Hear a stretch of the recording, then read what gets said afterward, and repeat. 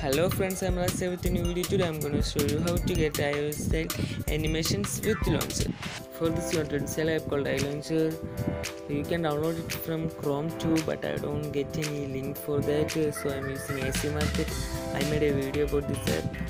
Let's open this app.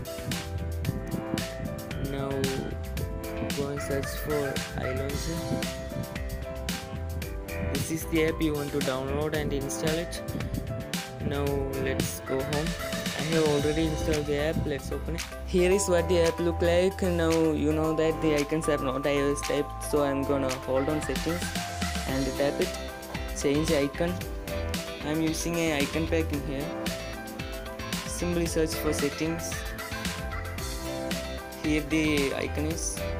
Now I, I got the icon settings for settings. Now I'm gonna change message contacts and rearrange all the icon I'll show you my finished product. Uh, this is my final product. You know that all the icons are rearranged. Now I'm gonna open YouTube. The animation is like iOS. You know that the animation is clearly like iPhone. Music here is the animation. Now I'm gonna open settings. The animation is here. Now I'm gonna open a folder. Here is the folder. The animation is like iphone at first uh, sometimes you will get some bugs like uh, the animation will be wrong and the appends will not uh, open. So you want to restart the phone sometimes?